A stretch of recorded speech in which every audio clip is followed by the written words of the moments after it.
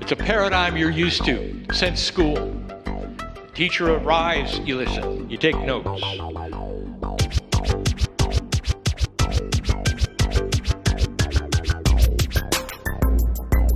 We are one. We are one. We are one. We are one. We are one. We are one.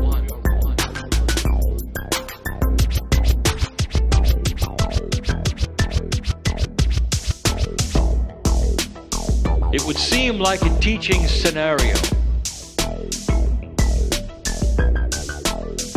There's so much more here. So much more.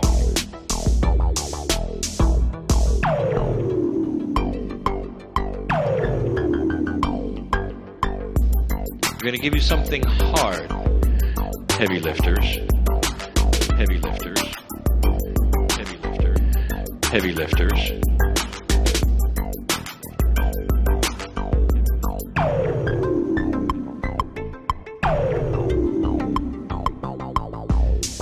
May be too hard. I ask you the question again. Do you believe that consciousness can actually physically change things?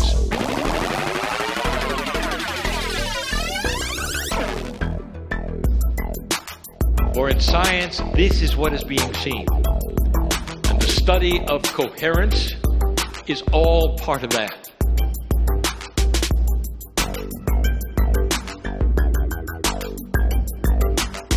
With what you start to create with the words, the consciousness, and the intent.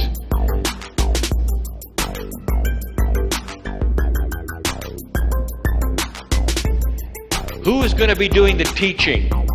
The answer is you are.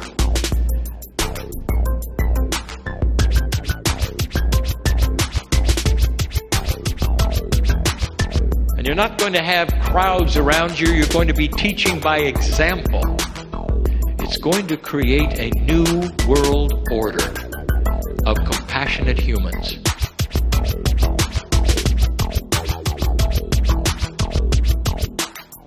That's what the evolution of consciousness creates. It gives incredible fuel for things to change dramatically with you immediately.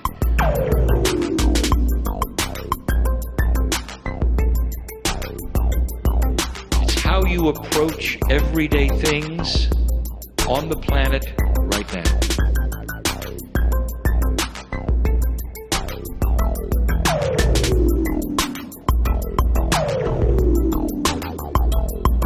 This is the easy one, and yet it escapes so many of you.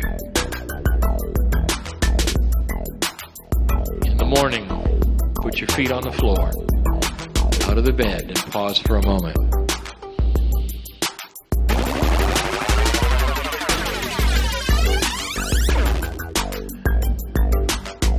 Want you to create your day of joy, solution, and surprises that are benevolent.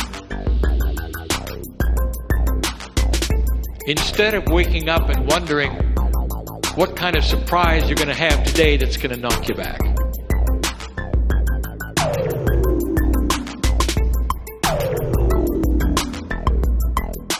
It's habit. Habit. To fear the changes and not to expect benevolence. It's habit.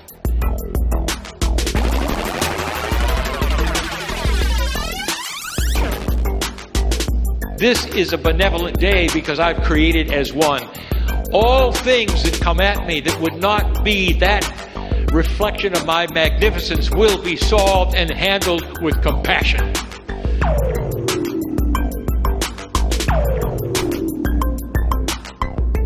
May not see it immediately. Every single day I'm going to do this because as I do it every day, that surrounding becomes stronger and stronger and the solution begins.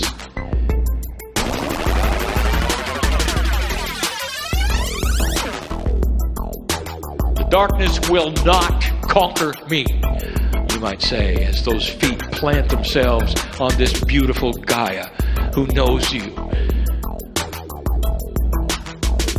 Create benevolence in my life.